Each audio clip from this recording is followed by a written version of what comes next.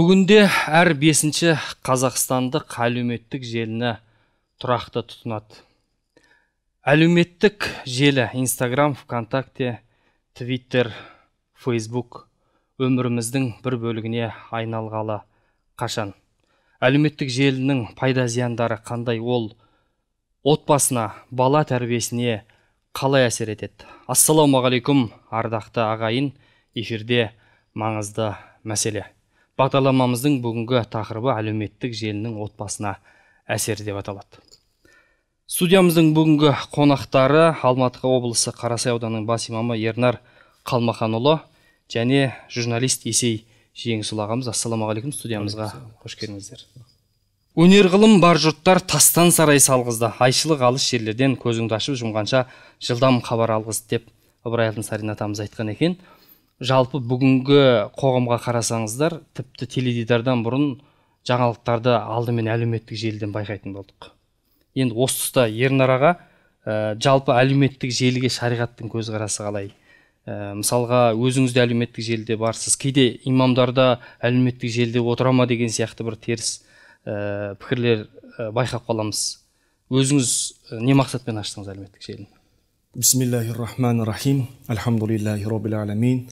Аллахумма салли аля сайидина мұхаммадин уаля али мұхаммад ассалаумағалейкум құрметті көрермендер. Бұл енді әлеуметтік жағдайға шариғаттың көзқарасы пайдаланушының ниетіне оның мақсатына қолдану жағдайына байланысты. Егер ол кісі әлеуметтік желіні жақсылыққа шақырып жамандықтан тыйып игілік үшін адамгершілік үшін ғылым білім парасат хикмет үшін қолданатын болса ол оған қосымша көмекші ретінде. Ал енді азғындық үшін және де басқа теріс пиғылдар үшін қолданылатын болса шариғатымыз оған тыйым салады. Ал енді сұрағыңызды жалғастырған кезде имамдар да осы әлеуметтік жерде желіде отыра ма деп кейбір адамдардың таңданысын айтып жатсыз. Алла тағаланың пайғамбары сүйікті пайғамбарымыз мұхаммед саллаллаху алейхи уассалам туралы фурхан сүресінде жаңа сол кездегі адамдар бұл қандай пайғамбар тамақ ішіп базарда жүретін деп таңғалыс білдірген екен. Сол секілді бұл қандай имам әлеуметтік желіде отырады деуі мүмкін. Ал енді күнімізде біз мешітте жамағатқа уағыз айтқанда насихат айтқанда тіпті ең адамның көп келетін жұма уағызында ары кетсе мысалы мың адам мың жарым ең үлкен мешіттерде жаңағы ары кетсе он мың адам. Ал енді әлеуметтік желіде сол адамның жаңағындай достығында бар тіркеуінде бар бәлкім он мың адамға бәлкім жүз мың адамға бәлкім миллион адамға бұл жол ашады. Сондықтан да біз әлеуметтік желіні пайдаланамыз. Пайдаланғанда да мақсатымыз осы ел жұртқа әсіресе жастарға жақсылыққа шақырып жамандықтан тыйып өзіміздің азиз болған хақ болған тамаша дініміздің жаңа уағыздауға насихаттауға және олардың жақсы көзқарас қалыптасуына өмірге қолымыздан келгенше пайдамыз тигізсек деген ойдамыз. Бәрекелді. Енді мынандай қызық ақпараттар бар екен есе аға да ә, 2016 жылғы зерттеулер бойынша медиа система агенттігі былай хабарлайды. Елімізде осы қазақстан аумағында әлеуметтік желіні белсенді қолданушылардың саны үш бүтін оннан үш миллион адамға жеткен. Бұл яғни әр бесінші қазақстандық әлеуметтік желіні белсенді пайдаланады деген сөз. Қазақстандағы ең көп қолданылатын әлеуметтік желі ретінде бір миллион тоғыз жүз қырық бес мың адаммен вконтакте желісі көшті бастап тұр екен. Оның елу үш бүтін оннан сегіз пайызы ер адамдар болса қырық алты бүтін оннан екі пайызы әйел адамдарды құрайды. Қолданушылардың алпыс пайызға жуығы 18-ге толмаған бұл жаңа жасөспірімдер. Ә, вконтакте желісінде бір айда 45 мың а, 45 миллион пост шығады екен қазақстан аумағында. Ал енді одан кейінгі орындағы әлеуметтік желі қазақстан аумағында ол инстаграм желісі 1 миллион 336 мың қазақстандық инстаграмға тұрақты белсенді пайдаланушы ретінде тіркелген. Ә, ал инстаграмның 71 бүтін оннан тоғыз пайызы әйелдер екен отыратын. Енді есей аға біз жалпы ә, тек қана осы ә, ғаламторды білетін адамдар емес жалпы бұқараға ақпарат таратып отқандықтан тікелей эфирде әлеуметтік желіні білмейтін адамдар да болуы мүмкін. Әлеуметтік желі дегеніміз не? Негізін қалаушы кімдер енді бұл негізі әлеуметтік желінің дамуы да мынау интернеттің ғаламтордың дамуына тікелей байланысты. Жалпы ә, біздің кішкене ә, жеке қоғам ретіндегі ә, сорымыз деуімізге бола ма? Әлде кішкене бақытсыздығымыз деуімізге де бола ма? Біз бірден жоғары технологияларды пайдалануға кірісіп кеттік. Оған біз моральдық жағынан дайын болдық па ақылымыз дайын болды ма оны біз білмейміз бірақ түрмекке ілесуге мәжбүр болдық шындығын айтқанда. Ал негізінде әлеуметтік желі деген осы тоқсаныншы жылдардың ортасынан бастап бой көтере бастаған ең алғаш мына классмейтс дейтін әлеуметтік желі батыс қоғамында тәуір орынға ие болған ә, бірте бірте келіп ол ә, технологияның жаңаруынан қолданушылардың талабынан ә, басқа да сипат ала бастаған. Мысалы қазір көп қолданылатын линкедин ә, фейсбук сияқты әлеуметтік желілер осы 2002-2003 жылдардан бастап бел ала бастаған екен. Мұның енді ә, қажеттілігі ә, адамды басқа да бір ақпараттардан ә, бой тартқызу басқа да бір әлеуметтік жағынан өте бір ә, адамның агрессиясын оятатын немесе адамның бір ә, тәни құштарлығын көбейтетін ә, ақпараттардан кішкене аулақтату міндеті болса керек бірақ бірте бірте ол ә, айналып келген кезде жаңа өзіңіз де мысалда келтіргендей ә, адамды адамның ә, әлеуметтік жағдайына пиғылына ниетіне орай да түрліше қолданылатын болды өкінішке қарай. Бәрекелді. Енді ә, көп жағдайда біз уақыттың осы әлеуметтік желі көп ә, уақытымды алады. Көп мені жұмыстан тосады деп. Пікірлер айтып жатады. Тіпті енді уақыттың бос өткен деген өмірдің бос өткен деп жатамыз ғой. Жалпы осы уақытты әлеуметтік желіде отыратын адамдар болсын уақытты тиім тиімді пайдаланудың әдіс тәсілдерін айтсаңыз мысалы не істесек болады? Енді уақыт бұл адам баласы үшін ең қымбат нығмет. Себебі пайғамбарымыз саллаллаху айтады екі нығмет бар көп адамдар осы нығметтің қадір қасиетіне жетпей одан айырылып кейін қор болып жатады дейді. Бұл бос уақыт және денсаулық дейді. Бұл екеуі бір кеткеннен кейін қайтару әсте мүмкін емес. Бұл уақыт сыйға бере алмайсың мұраға қалдыра алмайсың қарызға біреуден ала алмайсың. Яғни босқа өткен уақыт деген сөз біздің босқа өткен өміріміз деген сөз. Сондықтан да алла тағаланың бізге санап берген уақытын босқа өткізу бұл өте үлкен ысырап және рәсуа болып есептеледі. Сондықтан да бұл өзінің еркін жеңген өзіне қатаң тәртіп орнатып жаңағындай әрбір минуты мен секундын жаңағындай ерекше бақылауда өткізетін адамдардан бөлек көпшілігіміз бұл уақыттың қадіріне жете алмай әсіресе бұндай желілерге кірген кезде уақыттың қалай өткенін біз байқамай қалып жатамыз. Сонымен оның ішінде неше түрлі ақпараттар неше түрлі жағдайлар неше түрлі мәселелер адамды одан да ары қаратай тереңдетіп соған сүңги беруге жаңағындай тартады екен. Кезінде бір жаңағындай ақыл ой парасаттың кең жайылған қоғамында мына көшеде арнайы жаңағы адамдар жай әңгіме айтып отыратын уақыт өткізетін бір кафелер болған екен. Сонда жаңағы бір парасатты адамның біреуі ішіне кіріпті да жаңағы е мыннан басқалар мені көрсе ұят болады ғой деп жаңағы түпкіріне кірген екен. Сонда жаңағы түкпірінен басқа бір адам көріп айтқан екен қаншалықты ішке кірсең соншалықты ішке кіресің деп. Сол секілді бұл жаңа әлеуметтік желіде де ананы бассаң анау ашылады ананы бассаң мынау ашылады деген секілді адамды өзіне тартқан бір иірім секілді. Сондықтан да бұл жағдайда жаңа нәпсісін тәрбиелеген өзіне қатаң тәртіппен жаңағындай өзінің өмірлік үрдісін қалыптасқан адам болмаса бұл жағдайда өзінің уақытын қалайша рәсуалікпен өткізіп алғанына жаңағындай біз куә болып жатамыз. Сондықтан да уақытты жегідей жейтін қазір күніміздегі ең басты уақыттың былай айтқан кезде жауы осы әлеуметтік желілер болып тұр. Бәлкім енді әртүрлі жағдайлармен әртүрлі мақсатпен қолдану мүмкін бірақ өмірімізде қазір таңертең тұрғаннан бастап кешке дейінгі уақыт аралығында мысалы абай атамыз ғой айтады ғой егер ақылды адамдардың қатарында болғың келетін болса күніне бір мәрте өзіңнен өзің есеп ал дейді. Сол секілді әрқайсымыз жатқан кезде мен бүгін қанша уақытымды осы әлеуметтік желіде өткіздім? Қанша уақытымды мен ата анама құрметте өзімнің отбасыма бөле алдым. Қанша уақытты мен алла тағалаға құлшылық жасауға қанша уақытымды мен адамдарға жақсылық жасауға деп егер есептейтін болсақ бәлкім осының барлығын алғанда бір төбе бәлкім әлеуметтік желі мен интернетте отырған уақытымыз бәлкім сол таразының жаңағы ауыр басын басып кетуі мүмкін. Сондықтан да бұл уақытты өте қатты осы уақыттың жаңағы дұшпаны деп айтсақ болады әлеуметтік желілер бәрекелді тамаша. Енді тағы бір аға бір ә, әлемдік ә, статистикаларды сөйлетсек фейсбуктың әлем бойынша бір бүтін жүзден алпыс бес миллиард белсенді қолданушылар бар екен.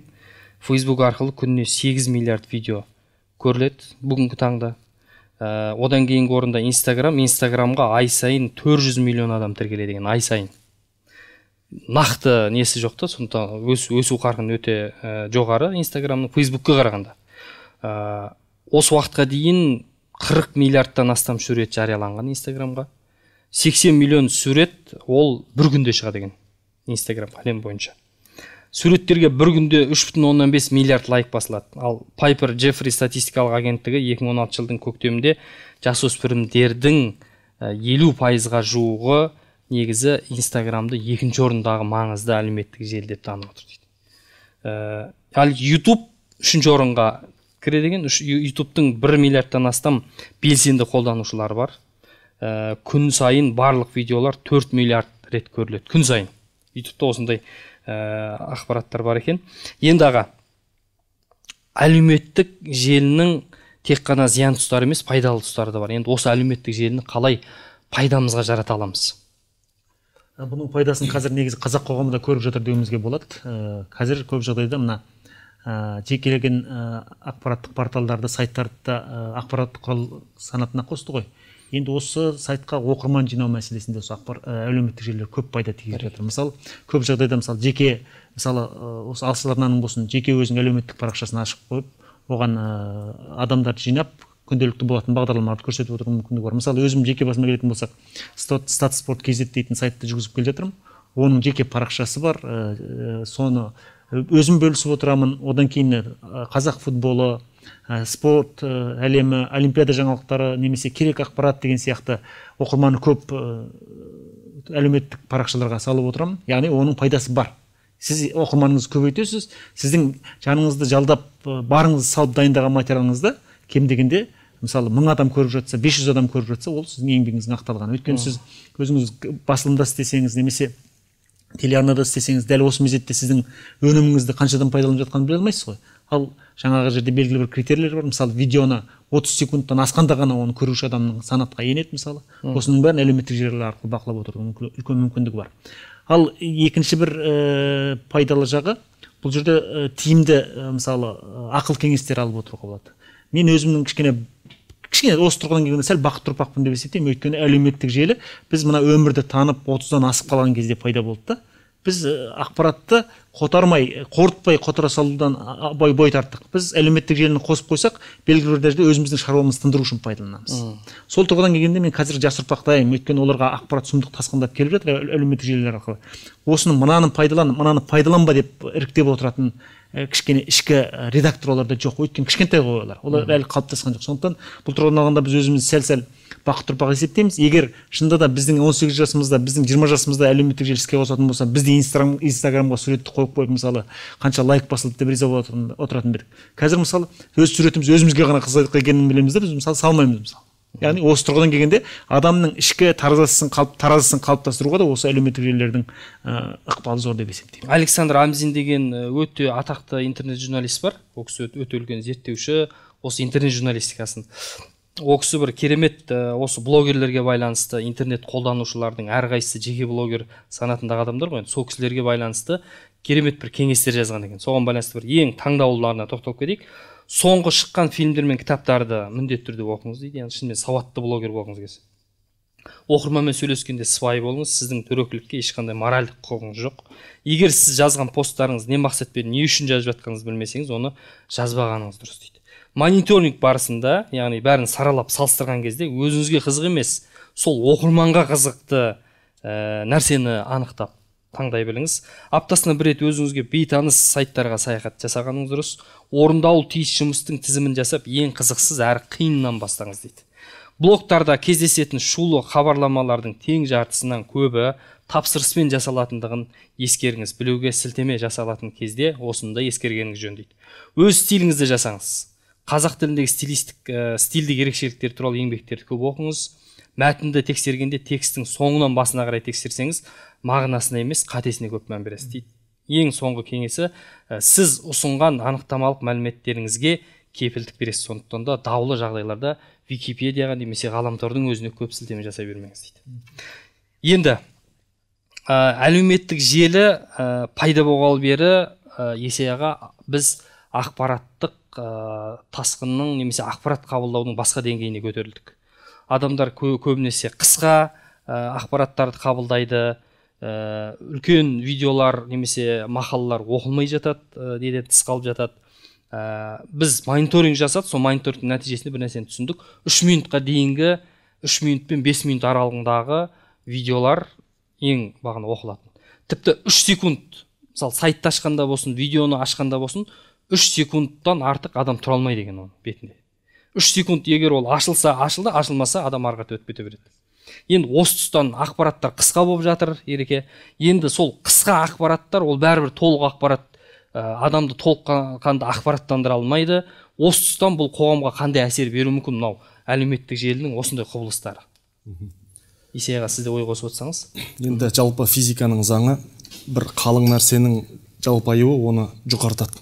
Сол секілді әлеуметтік желідегі ақпараттар неғұрлым қысқа болса неғұрлым жаңағындай аз болатын болса бұл жаңағы терең мағыналы нәрселерді жаңағы еңбекпен ыждахаттылықпен көз майын тауысу арқылы жаңағындай адамға қымбат саналып жететін жаңағы құндылықтарды бұл кішкене ғана нәрсемен біз таба алмаймыз. Жалпы енді рас адам баласының табиғаты асығыс адам баласы жалпы асық жаңағы шыдамсыз болып келеді. Бірақ сонда да ә, ерліктер мен табыстар жаңағы жетістіктер бұл шыдамдылықпен келетін дүние екен сондықтан да бұл маңызды мәселеге байланысты егер әлеуметтік желіде бір қысқа мәлімет берілген болатын болса ол ары қаратай зерттеп жаңағындай оның саласына оның жаңағындай түп тамырына үңілгеніміз дұрыс болады. Ал енді сол бізге әлеуметтік желі арқылы келген қысқа ғана бір мағлұматты місе тұтып сонымен ғана жаңағы сол мәселеде мен бір мағлұматқа иемін немесе бір мәселені осыны білемін деп айту бұл жаңағы жаңсақтыққа алып келеді сондықтан да адам баласы қай жағдайда болсын әр нәрсенің тереңіне үңілген кезде ол кісі табыспен жаңағы парасатқа жетеді. Бәрекелді бізге студиямызға хабарласқан қонақтарымыз бар екен. Екі қонағымыз хабарласып отыр екен. Бірден қабылдайық. Ассалаумағалейкум. Біз сізді тыңдап тұрмыз. Эфирдесіз. Алло сәлеметсіздер ме сәлеметсіз бе мен сіздермен шығыс қазақстан облысынан хабарласып отырмын. Сіздер міне пайдалы әлеуметтік желілердің пайдалы жағы туралы айтып жатырсыздар ал енді мен сіздерге сұрақ қояйын едім осы кері әсерін тигізеді отбасына деп. Санайсыздар ма? Өйткені мен міне өзім балабақшада тәрбиеші болып істеймін. Әркім өз телефонымен отырады әр бөлмеде баласы әкесі шешесі қарым қатынасы азайып бара жатыр отбасында. Балалардың бәрекелді бәрекелді түсінікті тағы бір сұрақты қабылдайық. Ассалаумағалейкум. Эфирдесіз. Әйел адам еркегі әлеуметтік әлеуметтік желіде отырған кезде қаншалықты сабыр сақтау керек? Например екеуі де намазхан болса да? Бәрекелді. Өте өте орынды сұрақ. Тамаша біз негізі осы сұраққа келіп жеткен едік. Негізі өзімізде тамаша отбасына байланысты сұрақтар ғой екеуі де. Әлеуметтік желілердің отбасына әсері қандай?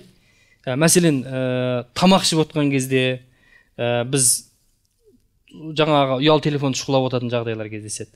Тіпті кейде бүйтеді екен әйелі әлеуметтік желі арқылы күйеуіне жазып жібереді екен тамаққа түсеші деп тамақ ішейік деп қазір деп ана кісі жауап беріп жаңа жерде сонымен екеуі жаңа жерде.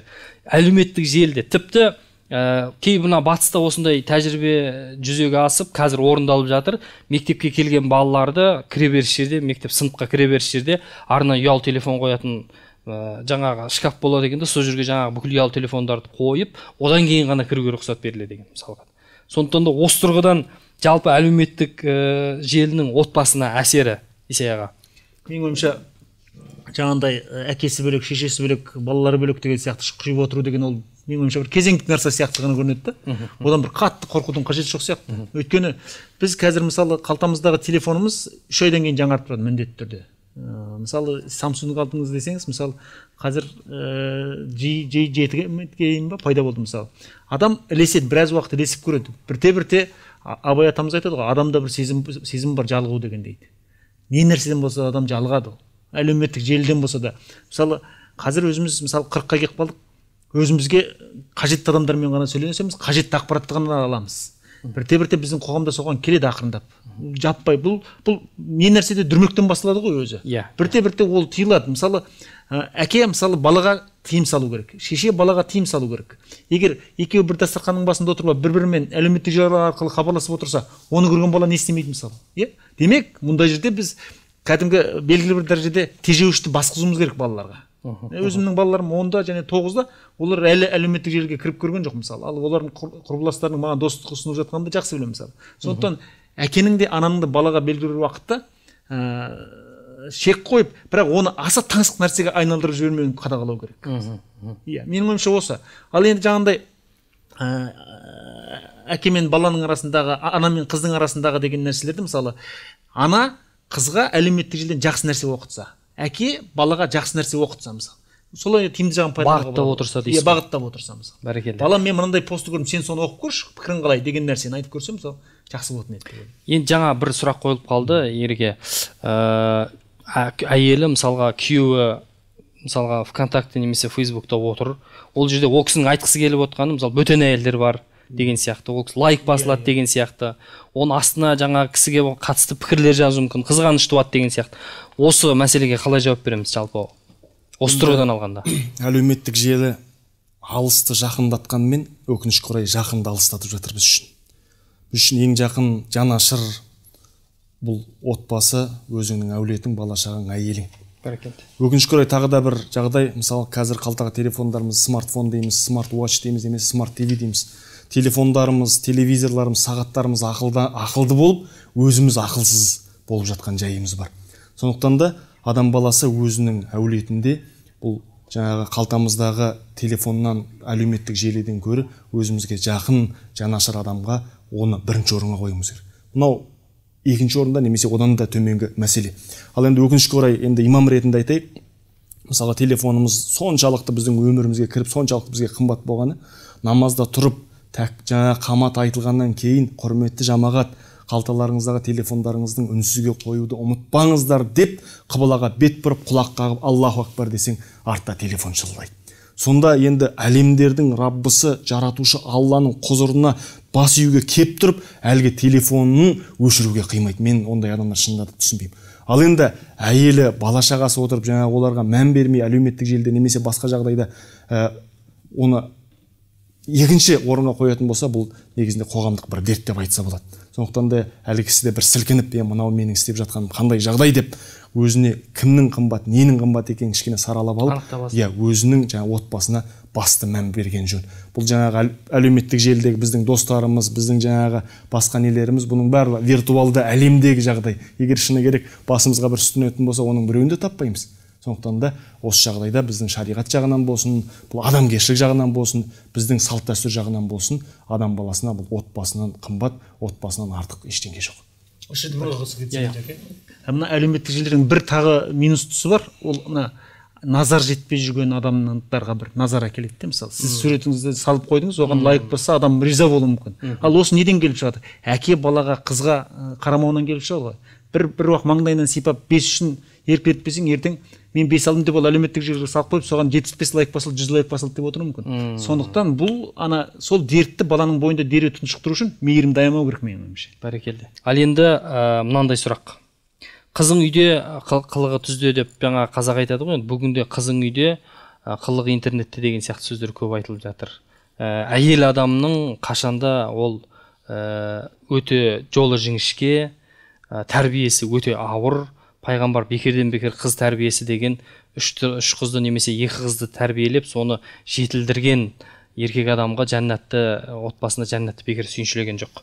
Енді осыны алып қарағанда инстаграмның ә, адам психологиясына әсіресе жасөспірімдердің психология бағана айттық қой біз алпыс пайыздан жоғары ә, жасөспірім он сегізге толмаған. Мысалы сіз айтып жатсыз мен қырықтан асып қалдым мен бақытты адаммын енді он сегізге толмаған жасөспірімдерге психологиясына қандай әсері бар? Мәселен мынандай ә, вконтактеде мынандай ә, парақшалар топтар бар екен. Ә, любовь в таразе немесе жаңағы любовь в алмате деген сияқты осындай топтар бар. Оның ішінде жаңағы әлеуметтік желіге жаңағы бір кісі бір сыртынан түсіріп алады екен да ұнатып қалған адамды міне деп салып міне мен мына адамды ұнатып қалдым осының телефондарын кім тауып бере алады танитын адамдар бар ма кім бұл деген сияқты. Сөйтіп зерттеп өзінше бір жаңағы ә, нәрселерді жасап жатады екен. Осы қаншалықты дұрыс жасөспірімдерге әсері қандай болады? Екеуіңіз де ой қоссаңыздар ерке. Енді жалпы әрбір адамның белгілі бір шекарасы бар. Ә, құпиясы бар деген секілді мәселелер. Әсіресе өкінішке орай қыздарымыздың ә, жаңағындай жеңгелеріміздің немесе әпкелеріміздің инстаграмға өзінің жаңа әсемденген суретіне түсіріп сол жерге қоюы бұл былай қарасақ шариғат бойынша да ә, дәс- дәстүріміз өзіміздің қалыптасқан жолымыз бойынша да дұрыс қаралмайды негізінде. Енді бұл жерде оны көріп оған жаңағындай құштарлық танытқан немесе әртүрлі жаман пиғылмен өкінішке орай қазіргі уақытта міне тағы да әлеуметтік және де әлемдік ақпаратта жаңа жиырма бесінші кадрдың біздің сана сезіміміздің астарына тыққан нәрсе солай. Біз жақсы бір нәрседен арам бір ой еле туғызамыз. Ой туғызамыз. Және де адам баласының табиғатында бір нәрсе бар. Мысалға мына жерге тарс етіп бірдеңе түссе ә, мысық қарауы мүмкін. Адам қарап сол түскен нәрсеге елік ету деген адам баласында табиғатында бар. Ал енді сол секілді әдемі қыздар мен жаңағындай келіншектердің суретке түсіп қоюына бұл басқа ер азаматтардың ойын бұзады. Немесе қоғамдағы әртүрлі жаңағындай келеңсіздіктің пайда болуына. Енді ол қала берді бұл жаңағы сиқыр да жаңағы көз тию де осы сурет арқылы болады. Өкін, мен танитын бір азамат жаңағындай сүйкімді өзінің баласын жаңа екеуі бірге суретке түсіп әлеуметтік желіге қойған екен. Сол екі күн өтпей жатып жаңағы баласы құлап оңдырмай шекесін жарып алған екен. Содан жаңағы ана әлеуметтік желіден балама көз тиіп сол суретін алып тастады. Шындықтан да қарап тұратын болсаңыз ол жаңағындай шариғат тұрғысынан былай деп айтпағанмен де ол адамға көз тию мүмкін ол адамға сұқ өтуі мүмкін. Және де бәлкім кел, әртүрлі жаман пиғыл адамдар арқылы сол сурет арқылы адамды сиқырлау да мүмкін. Сондықтан да осындай нәрселерден біз сақ болуымыз керек сақтықта қорлық жоқ. Бәрекелді. Сиқыр деген енді бұл дуа жаңа сіз айтып отқан иә дуа одан кейін жаңағы көз тию дегеніңіздің арты ол тіпті жазылмайтын дертке әкелуі де мүмкін екен. Ол диагноз қойылмайтындайдағыдай да ой қосайын дедіңіз ба менің ойымша ә, жаңағындай ә, түрлі ә, лайк қою анау мынау менің ойымша бұл адамның ішкі ә, парасатының аздығынан шығады көп жағдайда. Мысалы қырыққа келген елуге келген әйелдер тіпті өзінің қысқа ә, юбка киіп түскен суреттерін салып қояды мысалы. Бұның бәрі менің ойымша біздің қоғамның кітап оқымайтындығынан айналып келген кезде. Дүние ілімін оқысын түрлі көркем әдебиетті оқысын оны оқыған адамның ішкі парасаты артады да өзіне белгілі бір дәрежеде тежеуіш басталады. Осым артық болады ау. Осыны бала көріп отыр шаға көріп отыр өзімнің тұстастарым не дейді деген нәрсені айтады да дереу жаңа өзіңіз айтпақшы мониторинг жүр- жүргізіп ол дереу ке- керек емес нәрсені мүлде пайдаланбауға тырысады. Сондықтан менің ойымша әлеуметтік желі дәл қазіргі жағдайда біздің қоғамның айқын көрінісі. Егер сіз бес мың досыңыз бар бес мың досыңыз қандай нәрсе салып отыр сіз қандай досты таңдай алдыңыз соның көрінісі. Сіз қандай пост бердіңіз сол сіздің ішкі парасатыңыздың көрінісі. Сондықтан да көп жағдайда мен мынау ә, бұралып түскен суреттерді көбінше лайк баспаймын мүлде. Ә, сосын ә, енді енді сурет салған ұят шығар деп мүлде сурет салмауға тырысамын. Өйткені ол қанша ал енді тіпті кешірімсіздеу нәрселер де болады. Мысалы елуден асып кеткен ағаларымыз мен бүгін туған ауылымдамын мен бүгін немерем қасымдамын деп жаңа сұқтан қорықпай көзден қорықпай түрліше суреттер салып отырады. Іштей сол бала үшін шынында дұға қылып отырамыз ғой былайша бәрекелді. Аға жаңа сіз өте тамаша нәрсені айттыңыз ғой. Ә, бұл кейде адамдардың ә, назардан ә, жетім қалған Иә, иә, иә. жаңағы адамдардың Назар жасайтын назарға жетіспейді адамдар. Мысалға ғалымдар мынандай пікір айтқан екен. Жалпы осы әлеуметтік желі жаңадан шыға бастаған кезден көп пікірлер айтылған ғой. Қарсы қолдайтын пікірлер соның ішінде мынандай пікірлер бар да. Қашан ә, ер азамат мысалға әр ер азамат үйіне келген кезде өзінің әйеліне жұбайына ә, мысалға арнайы комплименттер айтуы тиіс екен да. Ол қаласаңыз да қаламасаңыз да мысалға бүгін сенің ә, көйлегің қандай тамаша асың өте дәмді болыпты деп қаласа да қаламаса да егіз ер адам осындай пікірлер айтуы тиіс шариғат бойынша осындай сүннеттер бар екен. Енді осындай назардан тыс қалып қалған осы нәрсе кемшін бола жатқан кезде күйеуінен көрмеген мейірімді адамдар әлеуметтік желіден табады. Оған суретін салған кезде бірден жаңа өзіңіз айтқандай ә, бөтен еркектер лайк баса қояды астына комменттер жаза қояды одан кейін жекесіне шығады деген сияқты. Ә, егер күйеуі қадағаламайтын болса ар жағы өте көп отбасының ажырасуына алып келіп соғады екен. Мәселен ақш-тағы ажырасудың батыс елдеріндегі ажырасудың өте көбі осы әлеуметтік желінің ішіндегі жеке ә, жаңағы не дейді ғой чаттардың жеке чаттардың ә, жұбайларының оқып қоюынан туындайды екен. Енді осы жерде бір ой қоса кетейін ә, жаңыл мына әлеуметтік желінің жасаушылары да өте құйтырқы ғой қарасаңыз.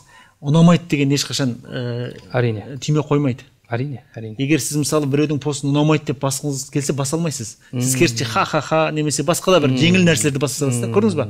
Бұл адамға тікелей әсер етудің жолы ғой. Егер сіз мына ә, жасөспірім сіздің көңіліңізге жақпайтын бір нәрсе салса ұнамайды дегенді бассаңыз е мына үлкен кісі сөйтіп жатыр ғой деп дереу тыйылатын еді ғой көрдіңіз ба? Бәрекелді көрдіңіз ба? міне осындай нәрселер жетіспейді негізі. Бірақ енді оны оны ешқашан қоймайды ғой қоя алмайды қоя алмайды дұрыс айтасыз. Бізге ақтаудан хабарласқан телекөрерменіміз бар екен. Ассалаумағалейкум эфирде сізді тыңдап тұрмыз. Аға мен ғаламторда көп отыратын едім сол отырған көп отырған дұрыс па әлде бұрыс па соны сұрайын деп едім ғой. бәрекелді тамаша. Бағана айтып өттік. Ереке? Енді айтып отырмыз ғой өмірде өте маңызды және біздің бұл өмірге келуіміздің басты мақсаттары бар. Сондықтан да осы мақсаттан алшақтап күнімізді есіл уақытымызды осы ғаламторда өткізетін болсақ бұл негізінде өкінішті дүние. Сондықтан да белгілі өзіңе қажетті нәрсені бір минутта кіріп алуға болады. Сондықтан да бір күн отырудың оған қажеті жоқ. Сондықтан да біз одан да маңызды мәселелерге мән беруіміз керек. Бәрекелді. Бізге тағы бір хабарласқан телекөрерменіміз бар екен. Ассалаумағалейкум. Эфирдесіз. Сіздердің бүгінгі көтеріп отырған мәселелер, мәселелеріңіз әрине бізді толғандырады. Мен алматы облысынан хабарласып отырмын сіздерге.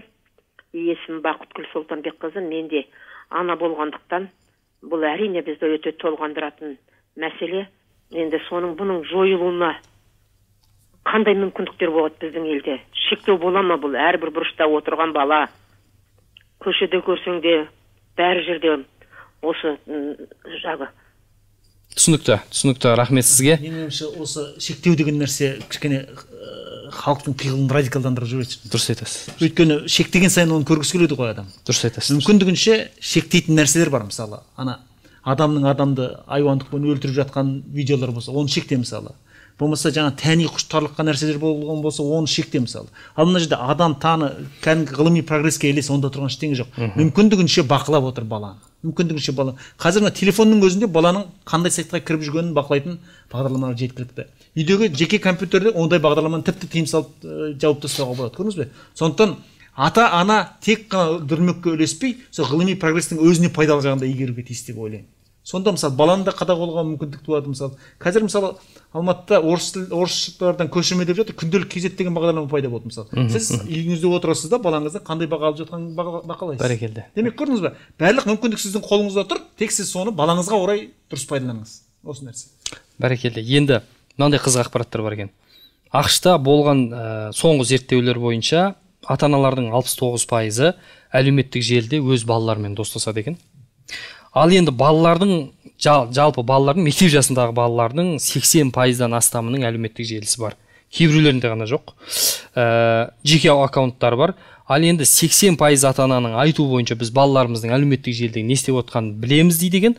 Бірақ балалардың 40 пайызға жуығы ата аналарының өздерінің әлеуметтік желіде не қарап не істеп отқанын білмейтініне толық сенімді екенін айтқан екен да. Енді ақш демекші ә, ереке ақш елінде қиылған некелердің он пайыздан астамы әлеуметтік желілер арқылы болады екен.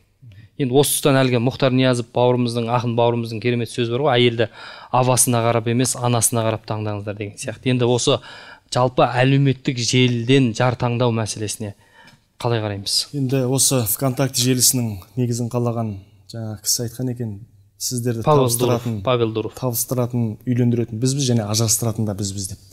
Ал енді біздің құдайға шүкір ә, дініміз бар пайғамбарымыз саллаллаху алейhi салған сара жолы бар бабамыздың көрсеткен дара жолы бар. Сондықтан да біз осы дара жол мен сара жолды бірігіп мығым ұстанатын болсақ біз бұндай олқылыққа жол бермейміз. Сондықтан да пайғамбарымыз саллаллаху алейhi жар тауындағы жағдайда қойған критерийлер белгілі бабаларымыздың көрсеткен жолы белгілі ата аналарымызды ақыл тоқтатқан үлкен кісілерді тыңдап өзіміздің сезімге емес ақылға салып сегіз жеті, жеті рет өлшеп бір рет кесетін болсақ біз бұндай қателікке түспейміз. Бәрекелді. Сондықтан да осыған өте сақ болу керек. Яғни ол ә, әлеуметтік желіге желі арқылы мысалға адамды тану былай тұрсын ол тек ол кісінің түріне қарап қана бағалау мүмкін болып тұр ғой. Яғни адамды тану оны анасының туысқандары арқылы сұрастыру ол адамды зерттеп жатып алу тегін білу деген сияқты мәселенің бәрі ә, назардан тыс қалып жатыр дейсіз ғой. Енді ұм, жалпы аға есе аға ғаламтор ә, оның ішінде әлеуметтік желілер 2015 жылдан бастап бұл бұқаралық ақпарат құралдарымен теңестірілді. Ә, осы сәттен бастап кез келген ә, әлеуметтік желіде немесе сайттарда жазылған ақпараттардың барлығы ол ә, адамға құқықтық жауапкершілік артады. Ә, енді осы тұстан алғанда тіпті кейбір адамдар осы ә, әлеуметтік желідегі посттарына байланысты қылмыстық жазаға да тартылды. Енді әр әлеуметтік оны бір адамдар естімеген болуы да мүмкін. Әр әлеуметтік желі қолданушы адамға сіз осы тұрғыдан алғанда қандай насихат айтар едіңіз? Иә шынында да өз ұлт ұлтаралық татулықты селкеу түсірді деп бірде екілі адамның қылмыстық жауапкершілікке тартылғаны рас. Мұндай жағдайда қандай ақыл айтамыз? Мұндай жағдайда ә, ма- манағы сөз басында айтқан нәрсемізді қайталаймыз. Адамның ішкі редакторы өте мықты болу керек. Осыны, осыны ә, жазып осы белгілі бір нәрсені ә, жалт еткізіп жазып лайк жинаған жақсы ма? Жоқ соны ә, белгілі бір уақыт өткеннен кейін оқыған соң ұялмаған жақсы ма? Осы жақында бір журналист әріптесіміздің айтқаны бар.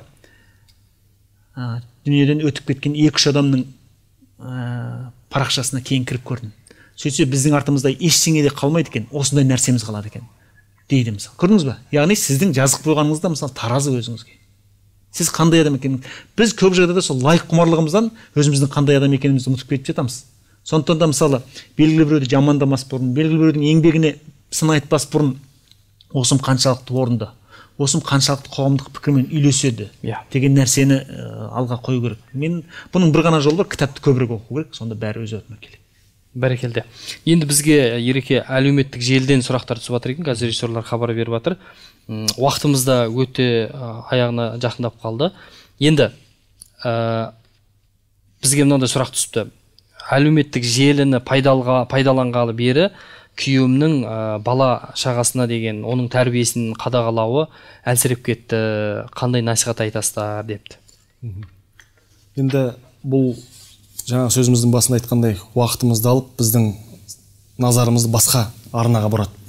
Ал енді әрбір әке үйленген кезде өзінің мойнына аманат алғандығын және ол дүниеге бала болып келген кезде алла тағала тарапынан оған ең үлкен сый және де ауыр жауапкершілік артылғанын білу керек. Сондықтан да пайғамбарымыз саллаллаху айтады әкенің балаға беретін ең үлкен сыйы баға жетпес бұл тәрбие дейді.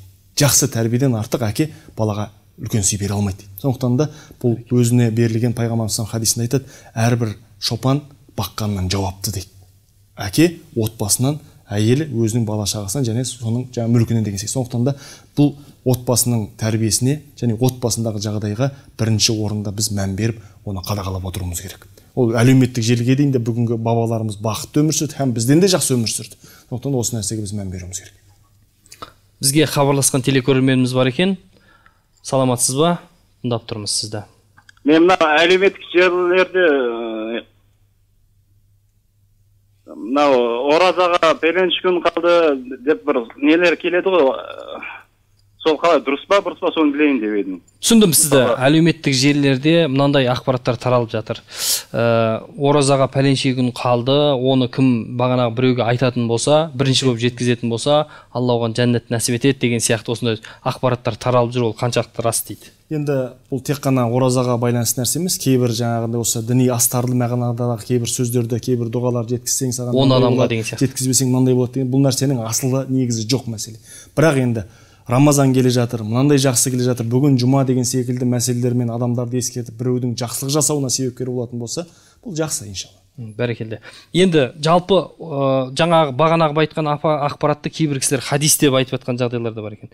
Мен бір құлақ шалып қалғаным бар еді. Ерсін әміре ағамыздың осыған байланысты пікірлері бар екен да. Ол кісі бұны хадис деп айтатын болатын болса ол ешқандай негізі жоқ жаңа өзіңіз айтқандай. Оның ешқандай негізі жоқ. Оны пәленше адамға сүйіншілесе жаңағы рамазан келе жатқан ол адам жаңағы жәннаттық болады деген сияқты ақпарат. Жа- жалпы сіздің пікіріңіз бойынша оны адамдарға пәленше күні болады деп айтып оларға дайындыққа байланысты жұмыстарын ә, нақтылап қою үшін ол ақпарат қажетті дейсіз ғой. Енді мынандай ғалымдар мынандай ә, мәселені көтеріп жатыр екен да. Уақытымыз өте аз қалды. Лайк құмарлық деген дерт бар дейді. Ә, құмарлық деген. Бұл адамның өзінің суретін қойып оған жаңа өзіңіз айтқандай бірінші мен маған қанша адам лайк баса деген қандай пікірлер жазады деген сияқты нәрсенің арт жағында адамның өзін жақсы көруі өзін жақсы көрген адамның артынан екі жүзділік оянады дейді ғалымдар айтады. Өйткені ол бірін бірімен тығыз байланысты нәрсе. Адамда екі жүзділік оянады ал ол адам өзін жақсы көргеннен екі жүзділік оянғаннан сырттан ақпарат қабылдай адамнан сын қабылдай алмайтын жағдайға жетеді ал адам сырттан сын қабылдай алмаған күні ол адам кәсіби деңгейде ешқашан дамымайтын адамға айналады екен. Яғни ол адам былайша айтқанда даму тоқырауға кетеді былайша айтқанда. Енді ол адамда риякерлікті оятады екен. То есть адамдардың көзі үшін жасау пайдақорлық мақсатпен жасау ә, оятады екен. Ғалымдар оған байланысты адамды ә, үш белгісі бар риякерліктің ол адам сырттан сын қабылдай алмайды. Адамдардың арасында өте белсенді бірақ отбасында ондай емес дейді. Одан бөлек адам адамды өзіне өзін қатты мақтағанды ұнатады дейді жаңағы кісі. Енді мынандай сұрақ. Әлеуметтік желі арқылы өзіне қол жұмсап жатқандар бар екен. Әлеуметтік желі арқылы бұл арнайы парақшалар да бар екен сондай адамға қол жұмсауды жеңілдететін арнайы секталар бар екен осыған үйрететін. Ә, содан бөлек әлеуметтік желілердің жаңағы ұятсыз фильмдерге байланысты қатысты мәселелер бар. Осыған бір ауыз бір ауыз пікірлеріңізді қосып кетсеңіздер. Бұл жерде мынандай нәрсені ескерткіміз келеді. Ә, әрине оған құқығымыз бар ма жоқ па білмеймін. Бірақ сіздің өміріңіз өзіңіздікі ғана. Сіз мың лайық жинасаңыз да сіздің өміріңіз керемет болып кетпейді аяқ астынан ә, сізді біреу сәл ғана әзіл жазсаңыз соған ха ха деп езу тартқан ә, смайлик қойса одан сіз өмір бойы шалқып күліп жүрмейсіз. Сондықтан да жаңағыдай сіз айтқандай әлдебіреуден әлдебір нәрсе үшін ақыл кеңес сұрау тіпті өлу үшін ақыл кеңес сұрау деген бұл былайша айтқан кезде адамның ә, моральдық деңгейінің өте төмендігін көрсетеді ғой. Сондықтан да әлеуметтік желіде отырасыз ба? Өмірде жүресіз ба? Өз өміріңіздің иесі сіз өзіңіз ғанасыз сондықтан ие болыңыз басқа ештеңе айта алмаймын. Ереке енді абай бабамыз айтады адам баласының мақтаннан аман болуы өте қиын дейді. Сондықтан да тағы да батырды бәрекелді өлтіреді деген секілді адам баласы пайғамбар тіпті мақтаған бетіңе мақтаған кісінің бетіне топырақ шаштырған өйткені ол сенің беліңді сындырып жатыр. Сондықтан да біздің шариғатта мақтау артынан болады. Ол жаңа кісіге жеткізбей. Ал енді кемшілігі болатын болса қателігі болатын болса ренжітпей жаңа адамды жаңа түзету бұл мұсылманның белгісі екен. Сол секілді әлеуметтік желілерде жамандықты арсыздықты адамның санасы мен ақылына кереғар әсер ететін нәрселерді жаю жеткізу бұл әсте шариғатқа жатпайды. Тіпті шариғатта айтылады егер адам баласы өзі бір күнә жасап оны өзгеге жария етпейінше алла тағала оның кешіреді дейді екен. Ал енді оны жариялайтын болса алла тағала оны кешірмейді дейді. Сондықтан да пайғамбарымыз хадисінде айтады егер бір мұсылман бір мұсылманның айыбын жабатын болса алла тағала қияметте оның айыбын тіпті дүниеде де жаяды дейді. Ал енді бұл біреудің айыбын ашатын болса дүниеде де ақыретте оның айыбын ашады деген сондықтан да бұл әлеуметтік желіні біреудің жаңағы кемшілігін айыбын оның жамандығын ашу үшін емес керісінше адам баласына жақсылық пен игілікті парасатты жеткізу үшін біз пайдалануымыз қажет. Бәрекелді құрметті телекөрермендер біздің эфиріміздің уақыты өз мәресіне жетті. Жалпы бала тәрбиесі бұл ә, баланың таудан шанамен сырғанаған сияқты деді мұхамеджан тазабеков ағамыз. Егер адам бақыттап отыратын болса ол сіздің ыңғайыңызға қарай ұйысып түседі екен. Ал енді әлеуметтік желі деген ә, құрметті ата аналар ол бүгінгі қоғамда бір шауып бара жатқан шауып бара жатқан сәйгүлікке ұқсайды. Оның алдынан шығып емес онымен қатарлап шауып жүріп тоқтататын сияқты әлеуметтік желіні де қарсы алдына шықпай онымен қосылып желіп отырып бағыттап бағындырғаныңыз жөн. Әлеуметтік желінің пайдалы тұстары да жоқ емес әрине. Оны түгегейлі біз жоққа шығара алмаймыз дегенмен шегін біліп байқағанымыз адал жолдан адаспағанымыз дұрыс. Ассаламағалейкум уа рахматуллахи уа баракатух.